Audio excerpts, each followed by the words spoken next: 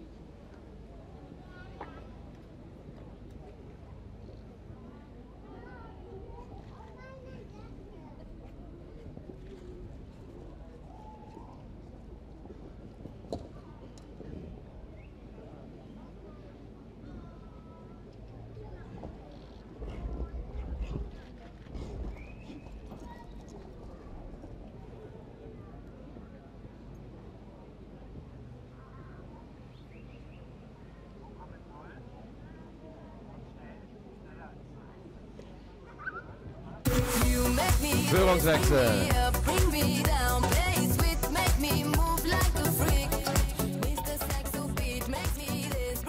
Null Punkte, neue Führung für Chairman und Carsten Otto Nagel, 46,67 Sekunden.